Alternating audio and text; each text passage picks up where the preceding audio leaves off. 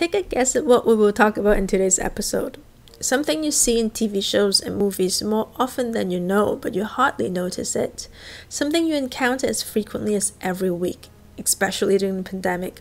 But don't give a second thought.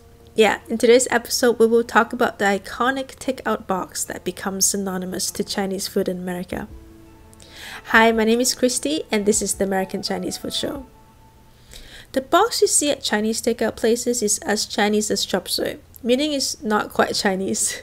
If it's not Chinese, where did it come from? Its name might give us some hints. First, what do you call this box? A, a takeout container? A Chinese food box? Have you also heard it called the paper pail or the oyster pail? Why is it called an oyster pail? What is an oyster pail? Well, at one point in the United States, fresh oysters were more popular and less expensive than they are today. In 1892, the annual estimated consumption of oysters in the United States were 12 billion. Many restaurants even offered take home seafood specials in the East Coast urban centers like New York. This is a menu of the Sagamore restaurants and lunchroom. There are oyster stew in a can to take home and fried oyster in a box to take home. So is oyster pail the take home box? Nope. According to the history and present condition of the fishery industries from the Department of the Interior in 1881, there were different types of containers for transporting raw oysters. The oyster can is a tin receptacle that holds from one pint to four quarts in which oysters are packed for shipment. There's the oyster keg, a small wooden keg. There's also the oyster tub, which is simply an oyster pail of larger size. The oyster pail is a wooden receptacle with a locked cover. They hold from 4 to 6 gallons each and cost from 75 cents to $1 each. These pails were returned to the wholesale dealer by the customers.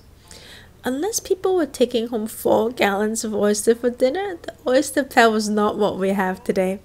But what happened was the patented devices for securing the cover were improved by an inventor called Frederick Weeks Wilcox in Chicago. He called his invention a paper pail, and he patented what we know today as the takeout box on November 13, 1894, having very little clue what it would become or what Sour Pork is. It was made from a single piece of paper that was folded into a leak-proof container and secured with a wire handle. Even though the design of the oyster is over 125 years old, it's ingenious even by today's standards. First, the containers fit easily inside one another for easy storage. It's a common scene you see stacks and stacks of these boxes in one big plastic bag on the counters of Chinese takeout restaurants across the country. These takeout boxes also unfold into plates so you can finish your dinner without having to wash any dishes. All you need to do is unhook the metal wire, it unfolds and lays out into a plate. And if you don't finish your food in one sitting, it folds right back up, ready to store back in the fridge. How cool is that? While pollution and overfishing slowly destroyed the street side oyster trade, Chinese food delivery took off during the great suburban migration of the post World War II era. With over 40,000 Chinese restaurants across the country today, Chinese food became the biggest consumer of these takeout boxes. Many takeout boxes made primarily of coated cardboard to resist grease and liquids are made in the United States. The biggest manufacturers produce 300 million boxes a year.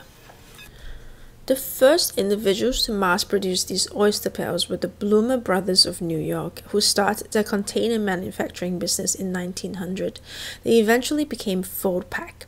In the 1970s, a graphic designer working at Foldpak put a pagoda on the side of the box and a stylized thank you on top, and the transformation to the Chinese takeout box we know today was complete. It's a pretty amazing journey how something created from oyster, a popular cheap food to serve alongside beer, not confined to class, equally popular in the African American communities with Native Americans and colonists from Europe in the 1800s, became the symbol of Chinese food. Today, Foldpak offers microwave-safe Chinese food cartons that use glue instead of wire. They also manufacture containers in a variety of sizes and designs. As you can see from the product catalog, they have white, pagoda, phoenix and dragon, and even Thai. Before we end this episode, What do restaurants in China use for takeout? Regular deli containers.